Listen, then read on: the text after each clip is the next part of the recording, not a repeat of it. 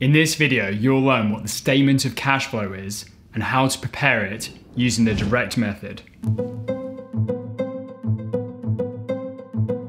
Hey viewers, welcome back to another episode of Accounting Stuff.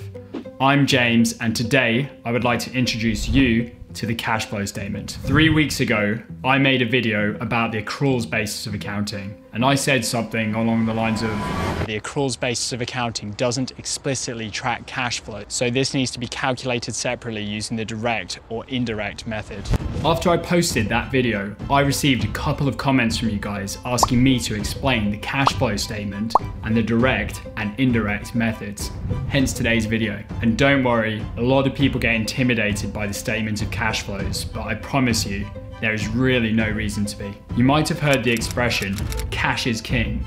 Well, in this video, I'm going to explain why the cash flow statement is so important and how to prepare it using the direct method. We are going to cover the direct method first because it's considered to be more valuable to investors or to anyone who reads the cash flow statement. However, many people opt for the indirect method instead.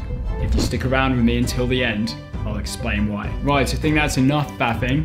Let's get started. First, I want to make one thing very clear. Cash and profit are not the same thing. Profit is revenue less expenses.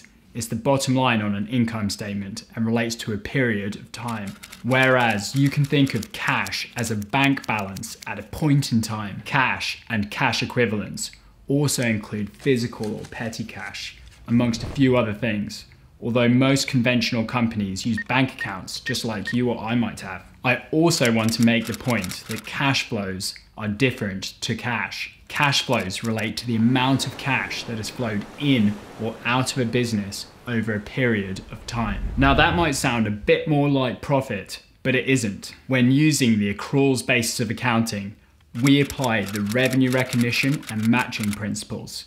So that means that revenue is recognized as it's earned, not when cash is received, and expenses are recorded as they are incurred, not when cash is paid out. That means revenue doesn't equal cash in and expenses doesn't equal, don't equal cash out. The biggest reason that small businesses fail is because of poor cash flow management. Many of these businesses would have been profitable, but without having that cash available, they're unable to pay their staff, their creditors, or the interest on their bank loans, and this throttles them. That expression that I mentioned a moment ago, cash is king, is used to emphasize the importance of cash flow, particularly in small businesses. Now, I feel like I'm harping on about this, so it's time to move on, but I can't stress this point enough. It is crucial to keep a track of your cash flows, and we do that using the cash flow statement or statement of cash flows. This is one of the three main financial statements along with the income statement and balance sheet. We have all three of them here made up for a company called Chudley Cannons Incorporated. I apologize for that Harry Potter reference, but I've been re-listening to the audiobooks by Stephen Fry when I go to bed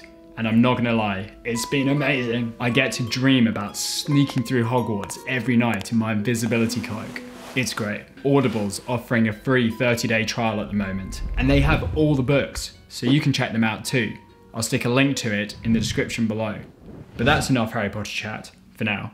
Back to the cash flow statement. The first thing to note is that the cash flow statement covers a period of time and we put this in the header. Remember I said that cash flows relate to the amount of cash that has flowed in or out of a business over a period of time. Here we have the year ended the 31st of December, but this could easily cover a quarter or a month. I think it's easiest to interpret the cash flow statement by starting at the bottom and working our way back up. At the bottom, we have cash at the start and end of the year, which we get from the balance sheet over here.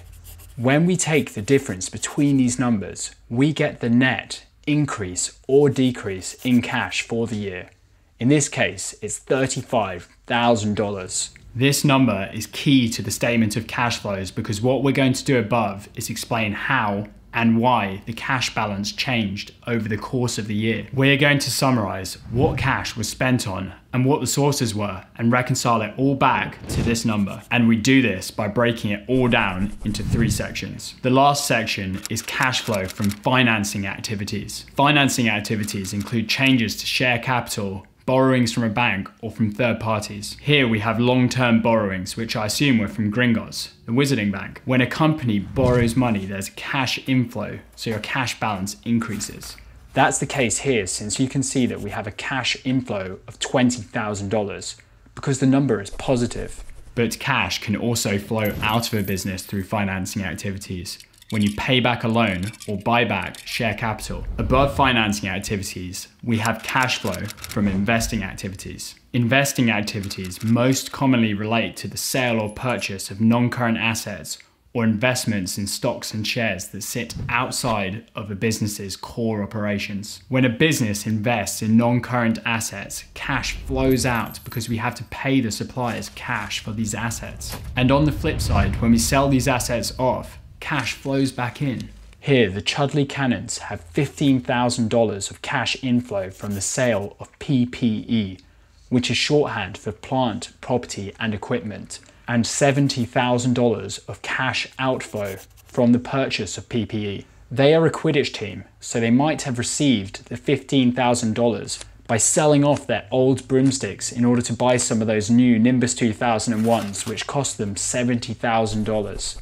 This is an investing activity, not an operating activity, because buying and selling broomsticks is not the Chudley Cannon's core business. The broomsticks are long-term investments which makes them non-current assets. This is different to inventory which describes assets that are intended to be sold during the ordinary course of business, which brings us on to the first section of the statement of cash flows, cash flow from operating activities. Operating activities are the principal revenue generating activities of a business. That sounds like a mouthful, but it just means the cash that we receive or pay out during the course of our regular business. Cash comes in when our customers pay us based on our accounts receivable, and cash flows back out when we pay our suppliers based on our accounts payable. Now, at the start of the video, I mentioned the direct and indirect methods of preparing a cash flow statement. And I haven't brought them up again until now because everything that we've covered so far is identical under each method. Operating activities is the only section that's different. Today, I'm going to cover the direct method and soon I'll do another video on the indirect method. You can subscribe to the channel so you don't miss out. So, the direct method. Under the direct method, the cash flow from operating activities is laid out just like a cash basis income statement. Under the cash basis of accounting, revenue is recognized when cash is received and expenses are recorded when cash is paid out. When you work out your operating profit under this method, it should match your cash flow from operating activities. Let's check back on the Chudley Cannons. This cash flow statement has been prepared under the direct method so under operating activities, we first have cash receipts from customers of $228,000. The Cannons are a sport team, so I would assume that the majority of these earnings would come from ticket sales and the sale of merchandise. This 228k of cash in would match their revenue for the same period if they were cash accounting but we can see that their income statement and balance sheet have been prepared under the accrual basis. We know this because their income statement shows depreciation, which is a non-cash transaction, so it wouldn't show up in an income statement prepared under the cash basis. Their balance sheet also contains inventory, receivables and payables, none of which would appear in a cash basis balance sheet. So we've covered cash receipts, but the next four lines under the cash flow from operating activities all relate to cash paid out. Cash paid out to suppliers, employees, interest paid, and income taxes paid. When you compare this to the income statement, you can see that each line relates to one of the expense types.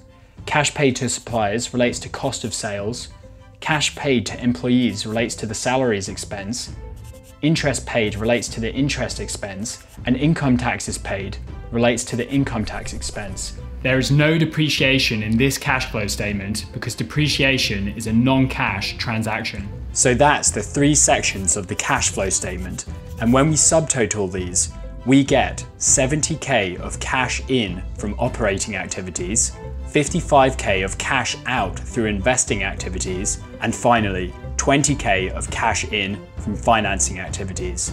If we add all these together, we get a net increase in cash of $35,000, which reconciles back to the movement of the cash balance in the balance sheet. A closing balance of 185k less the opening balance of 150k is also 35 $1,000. That's the statement of cash flows prepared under the direct method. It's a really handy report for investors to read over because you can easily identify where cash flowed in and where it flowed out. We can see that 76k was given out to suppliers, which was our biggest cash outflow. It's intuitive, so it's the preferred method of producing a cash flow statement. However, at the start, I said that many people go for the indirect method instead.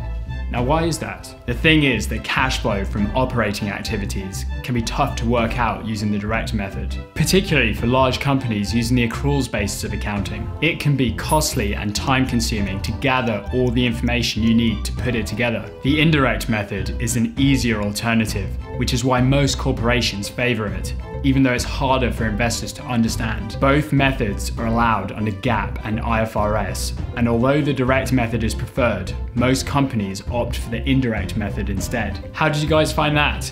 The cash flow statement can be a hard nut to crack, but I think we packed a lot in there. I think this topic is deserving of two more videos, which I'll put up shortly. In the next one, we'll get our hands dirty as we reproduce this cash flow statement with the direct method from scratch using only the income statement, the balance sheet, and the help of some T accounts. If you want to fully understand this topic, then I highly recommend you check that one out because seeing everything getting pieced together will help make things much clearer. Thanks for watching. If you found this video useful, give it a like, share it, comment, subscribe if you haven't already. I put out new videos every Monday here on Accounting Stuff. See you in the next one.